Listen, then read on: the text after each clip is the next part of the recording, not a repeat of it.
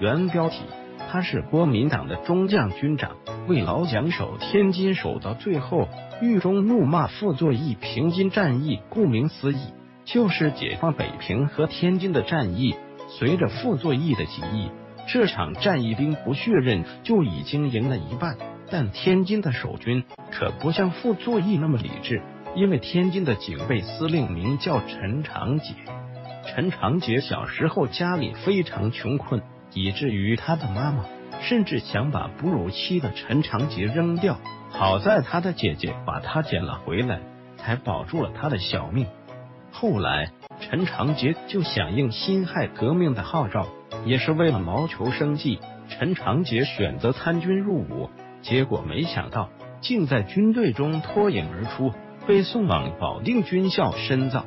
从这所学校里出来的。一个个都是平步青云的高级将领。抗战爆发后，陈长捷已经是第六十一军的中将军长，直接接受阎锡山的领导，在平型关战役中立下了大功。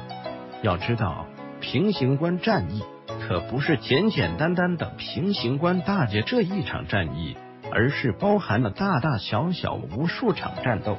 而陈长捷负责应对的，正是日军的主力部队。在武器装备处于绝对劣势的情况，陈长捷与日军鏖战了二十三个昼夜，最终还是取得了完胜。